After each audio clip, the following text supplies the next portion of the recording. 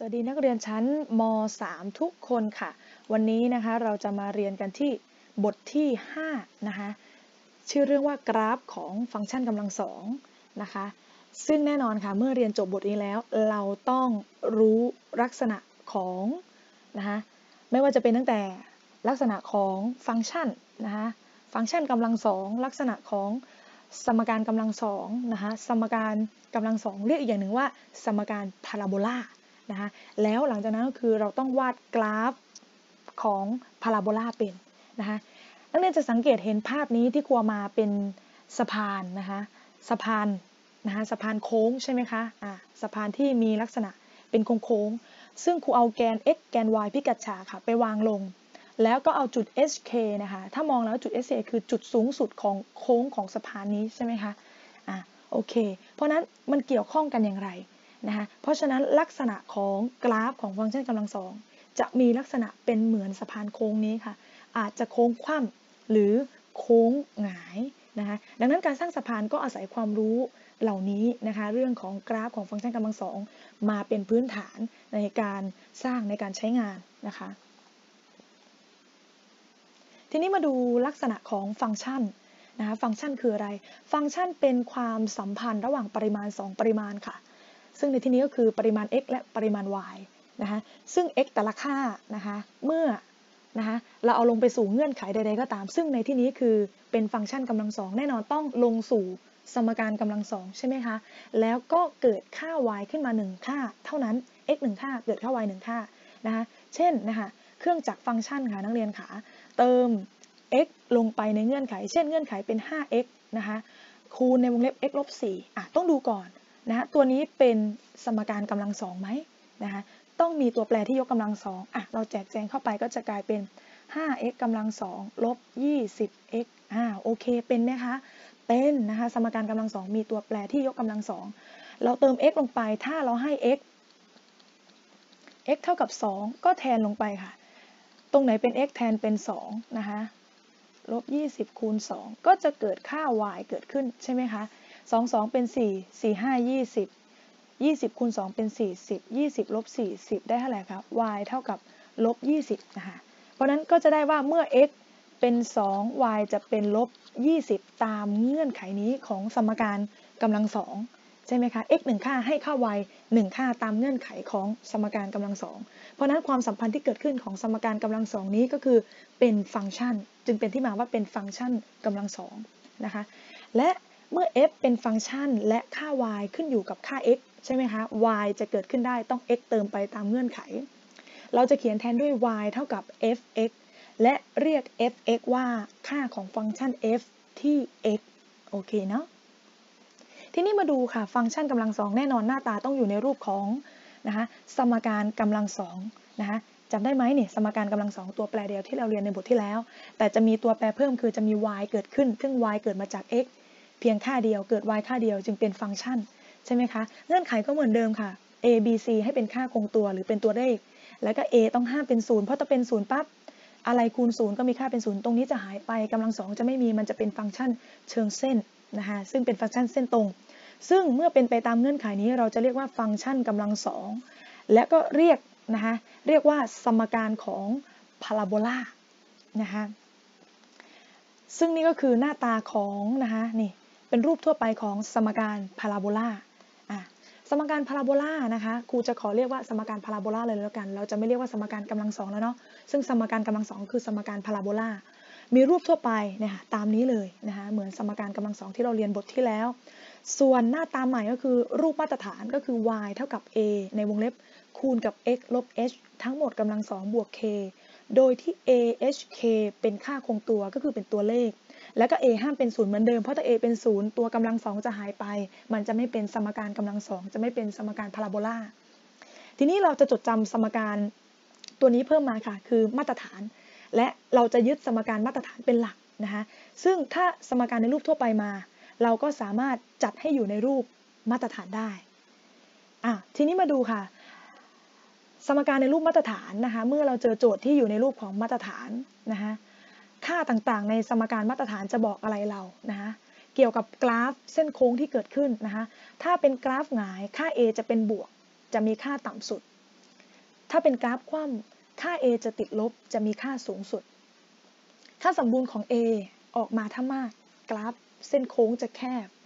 ถ้าน้อยกราฟจะกว้างจะบานนะโอเค แล้วมาดูต่อจุดยอดหรือจุดวกกลับก็คือจุด hk ซึ่งจุด s นะฮะจะเปลี่ยนเครื่องหมายถ้าในสมการมาตรฐานติดลบออกมาจะเป็นบวก ถ้าเป็นบวกออกมาจะเป็นลบ ส่วนค่า k จะไม่เปลี่ยนเครื่องหมาย แกน y จะเป็นแกนสมมาตรนะคะสมการแกนสมมาตรก็คือ x เท่ากับอะไรคะ เท่ากับ h ค่าสูงสุด ค่าต่ำสุดคือค่า k ถ้ากราฟคว่ำจะมีค่าสูงสุด ถ้ากราฟหงายจะมีค่าต่ำสุด ค่า h บอกอะไรเรา บอกว่าบอกว่า เส้นโค้งนะคะคว่ำหรือหงายของกราฟอะค่ะจะเลื่อนขนานออกจากแกน y อะค่ะหรือจุดกำเนิดออกไปกี่หน่วย ค่า k จะบอกว่าเลื่อนขึ้นนะคะหรือเลื่อนลงจากจุดกำเนิดนะคะออกไปกี่หน่วย hk ที่ครูบอกมาทำไมต้องไปหาอีกล่ะ ในกรณีนี้ค่ะ ในกรณีที่ถ้าสมการไม่อยู่ในรูปมาตรฐาน ก็คืออยู่ในรูปทั่วไป เช่น y เท่ากับ 2x กำลัง2บวก 5x บวก 9 อย่างนี้ค่ะ ยังไม่อยู่ในรูป hk เราก็จัดได้โดย h ได้จากลบ b ส่วน 2a นะคะตามสมการรูปทั่วไปนี่คือ a นี่คือ b นี่คือ c ก็เอาไปแทนค่านะคะ k คืออะไรคะ k เท่ากับ 4ac ลบ b กำลัง 2 ส่วน 4a อะ กูจะลองหา h หา k เป็นตัวอย่างให้พวกเราดูนะคะ a คือ 2 b คือ 5 c คือ 9 เพราะนั้น h เท่ากับลบ b ลบก็ลบ b คืออะไรคะ 5 นะคะส่วน 2 a คืออะไรคะ 2 เพราะนั้น h คือลบ5ส่วน 4 k คืออะไร 4ac ลบ b กำลัง 2 ส่วน 4a ก็แทนเลยค่ะ k เท่ากับ 4a คือ 2 c คือ 9 ลบนะคะ b คือ 5กำลัง 2 ส่วน 4 a คือ 2 ก็คูณกันปกติค่ะ 4 2 เป็น 8 8 9 72 72 ลบ 25 ส่วน 8 ได้เท่าไหร่คะ 72 ลบ 25อ่าลบให้ครูหน่อย ได้เท่าไหร่คะ 47 นะคะ 47 ส่วน 8 นี่ก็คือ k ได้แล้วค่ะ ค่า h ค่า k โอเคไหมนะคะ เราก็ไปแทนสมการในรูปทั่วไปนะคะ ตรงไหนเป็น h ก็แทน ตรงไหนเป็น k ก็แทน อะ ถ้าจะแทนกลับจะเป็นยังไง a ก็ยังเป็นตัวเดิมค่ะ ก็จะได้ว่า y เท่ากับ2นะคะ x ลบอะไรคะ h คืออะไรคะ h คือลบ5ส่วน4พอกลับเข้าไปต้องเป็นอะไรคะ บวก 5 ส่วน4นะคะ k ยังเป็นตัวเดิมค่ะ บวก 47 ส่วน8เนี่ย ได้แล้วค่ะ นี่คือหน้าตารูปมาตรฐานนะคะ นี่สมการมาตรฐานที่มาจากสมการทั่วไปตัวนี้ โอเคเนาะ ทีนี้การหาจุดตัดแกนนะคะ จุดตัดแกน x ให้ค่า y เป็น 0 นะคะ แล้วก็จะได้ค่า x ออกมา ก็จะได้คู่อันดับ นะคะ x ที่เป็นตัวเลขอื่นนอกเหนือจาก 0 แล้วก็ y เป็น 0 นะคะ หาจุดตัดแกน y ให้ค่า x เป็น 0 แล้วก็แทนลงไป จะได้ค่า y เกิดขึ้น ก็จะได้คู่อันดับ 0 แล้วก็ y ที่เกิดขึ้นเป็นค่าอะไรนะคะอะทีนี้เราจะมาดูกันค่ะว่า สมการที่เป็นสมการกำลังสองหรือสมการพาราโบลาเนี่ยนะคะดูเป็นไหมง่าย ๆ เลยค่ะเหมือนบทที่แล้วนะต้องจัดให้อยู่ในรูปสมการกำลังสองได้ นะคะก็จะเป็นสมการพาราโบลาแล้วก็จะหาค่า a ค่า b ค่า c ตามรูปแบบของสมการในรูปทั่วไปของพาราโบลานะคะเช่นนะคะ y เท่ากับ x คูณ x ลบ5นะคะแน่นอนต้องมีตัวแปรที่ยกกำลังสอง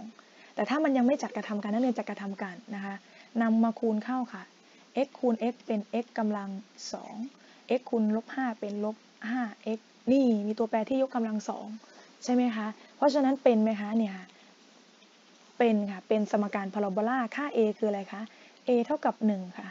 b เท่ากับอะไรคะลบ5 c มีไหมคะ c เป็น 0 ค่ะเนี่ยค่ะ ไม่เขียนแสดงว่า 1กำลังคูณอยู่กับตัวแปรที่ยกกำลังสองนะคะอะมาลองดูอีกข้อหนึ่งค่ะ y เท่ากับ x กำลังสองคูณ x บวก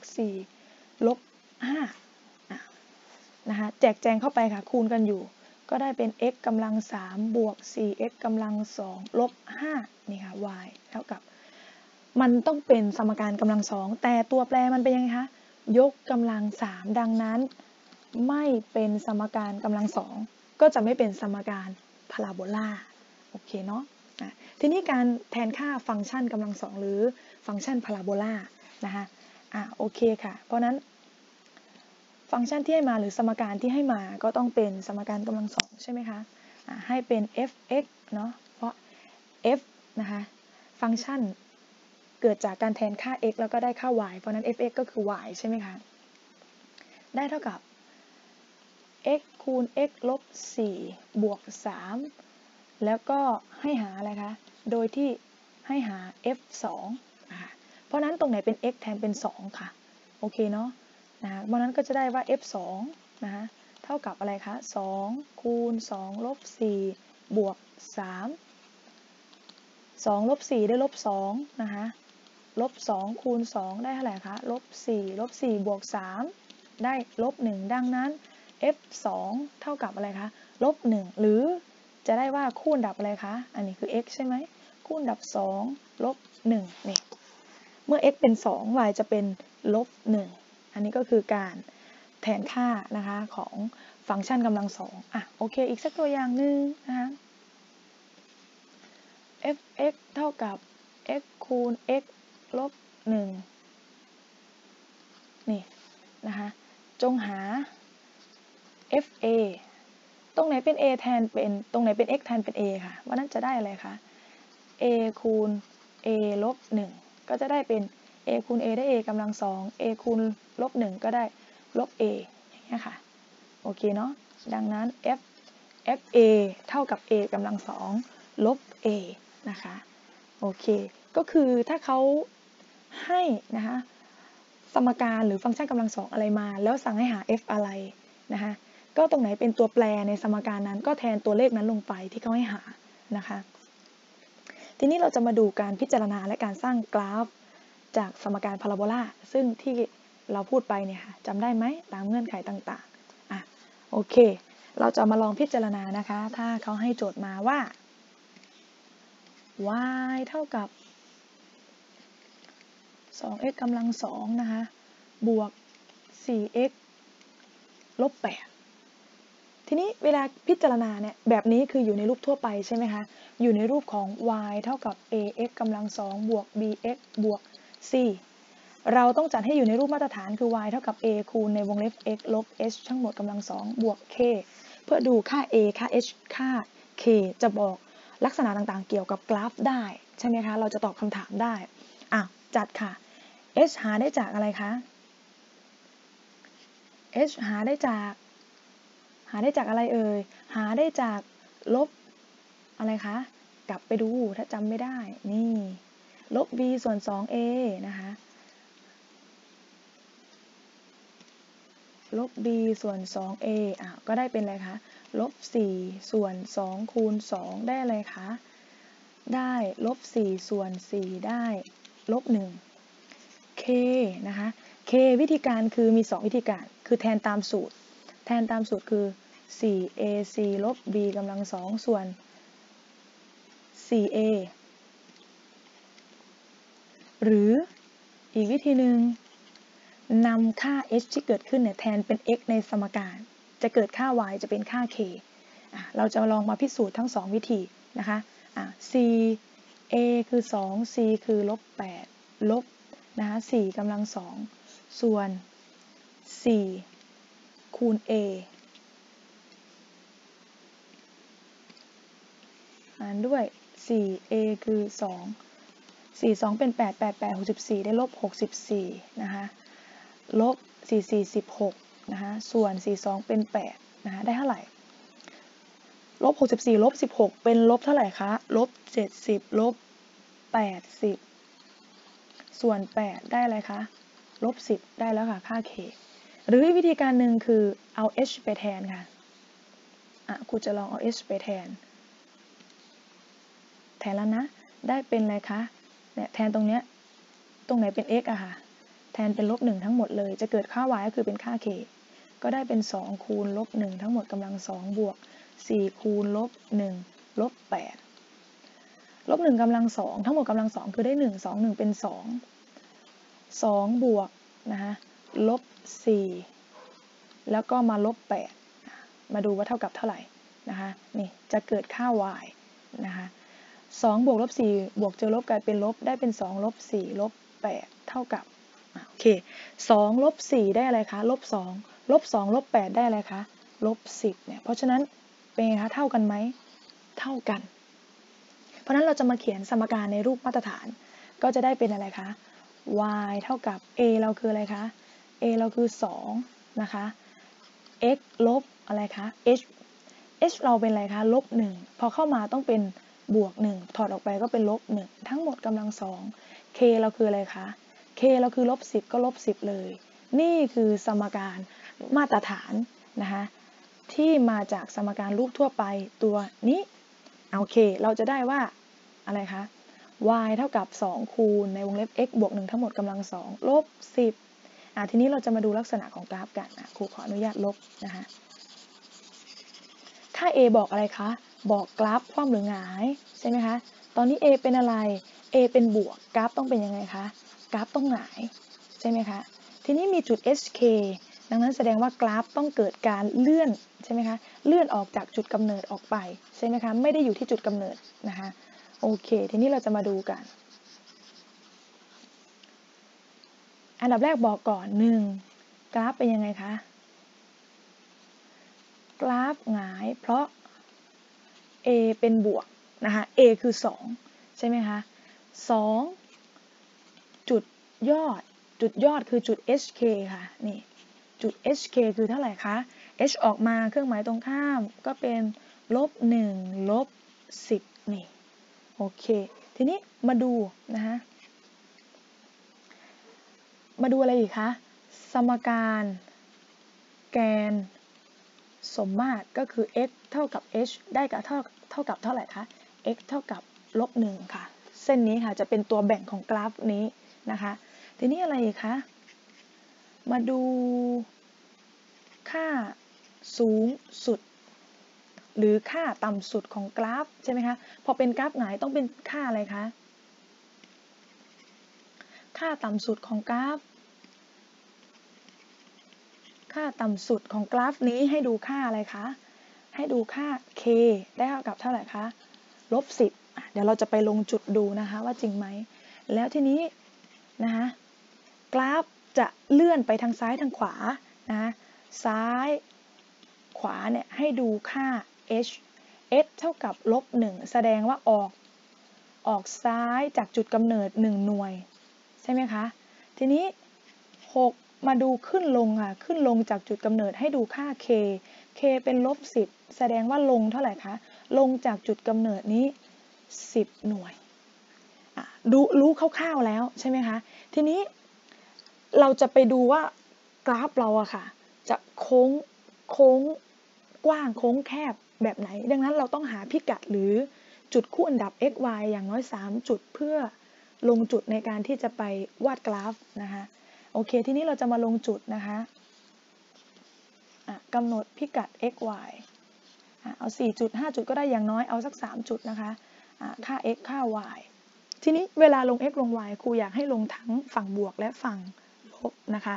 แล้วก็ให้มีจุดคู่อันดับอะไรคะ ที่เป็น hk เนี่ยลงไปในตารางด้วยนะคะ โอเค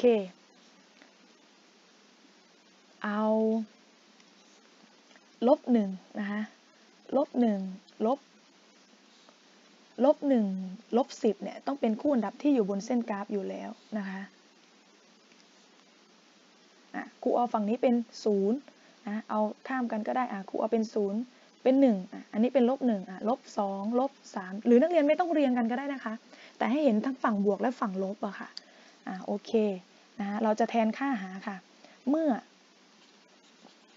x เท่ากับ 0 จะหา y เนาะ หา y ที่จะมาคู่กันเนี่ยค่ะ x เท่ากับ 0 ก็แทนเลยค่ะ เราจะแทนในสมการในรูปทั่วไป หรือสมการในรูปมาตรฐานก็ได้ได้คำตอบเหมือนกันนะคะ เมื่อ x เป็น 0 ค่ะ ก้อนนี้ก็จะเหลือ 1 1กำลัง 2 ได้ 1 2คูณ1เป็น 2 2ลบ10 ได้เท่าไหร่คะอะครูแทนให้ดูก็ได้ จากสมการนี่ค่ะ จากสมการของโจทย์เลยอะครูเอารูปมาตรฐานมานะคะ เมื่อ x เป็น 0 ก็แทนค่ะ ตรงไหนเป็น x แทนเป็น 0 ค่ะ ก็มาดู ตรงนี้กลายเป็น 1 1กำลัง 2 ได้ 1 2คูณ1ได้ 2 ลบ 10 y เท่ากับเท่าไหร่คะ ลบ 8 ค่ะ นี่ ลบ 8 ต่อมาค่ะ หาอีกค่ะ เมื่อ ทีนี้เอาฝั่งนี้บ้าง เมื่อ x เท่ากับ ลบ 2 บ้าง เราจะหา y นะคะ โอเค ตรงไหนเป็น x ก็แทนเป็นลบ2ค่ะเนี่ยลบ2บวก1ทั้งหมดกำลัง2ลบ10นะคะลบ2บวก1ได้ลบ1ลบ1ทั้งหมดกำลัง2ก็ได้1 2คูณ1เป็น2 2ลบ10นะคะก็จะได้อะไรคะได้ลบ8เช่นเดียวกันค่ะนี่นะคะเช่นเดียวกันค่ะถ้านักเรียนจะหาเมื่อ x เป็นลบ3ตรงนี้ค่ะของสมการก็แทนเป็นลบ3เมื่อ x เป็น1ก็แทนเป็น1หาอย่างน้อย 3 จุดค่ะ เพื่อจะได้พอดจุดในการลงเป็นเส้นโค้งได้ อะโอเค ทีนี้เราจะมาลงจุดของกราฟนี่ฮะนักเรียนใช้ไม้บรรทัดดีนะคะครูไม่มีไม้บรรทัดนะขออภัยนะ เราจะมาลงจุดของกราฟในพิกัดแกน x แกน y กันนะ x y อ้าวขออภัยค่ะ y ก็ต้องเป็นแกนตั้งสิเนาะนะคะนี่แกน x แกน y นะคะแกน y นะคะ นี่นี่คือจุดกำเนิดพิกัด x เป็น 0 y เป็น 0 นะคะอะเราจะลงคร่าวๆให้เห็นนะคะ แต่นักเรียนเวลาทำนักเรียนต้องวาดวาดช่องดีๆนะคะนี่อะโอเคค่ะ เราจะมาลงจุดนะคะลบ1 0ค่ะอะลบลบ1ลบ10ขออภัยนะคะอะ x เป็นลบ1 y เป็นลบ10ครูจะเอาคร่าวๆนะคะ เพราะพื้นที่ของเรามันน่าจะไม่เพียงพออะลบ1นะ ลบ10อะสมมุติครูต่อลงมาแกน y เนี่ยอะลบประมาณนี้เนี่ย x เป็นลบ1ออกมา1หน่วยไว้เป็นลบ10นะคะนี่คือจุด hk เนี่ยลบ1ลบ10แต่ถ้านักเรียนวาดก็ทำเป็นช่องลงมา10ช่องเนาะอะลบ1ลบนะคะลบ2นะคะนี่ลบ2อะลบ8ขึ้นไปประมาณนี้ค่ะลบ2ลบ8ค่ะทีนี้อีกจุดหนึ่งค่ะ x เป็น0 y เป็น8ตรงนี้ค่ะ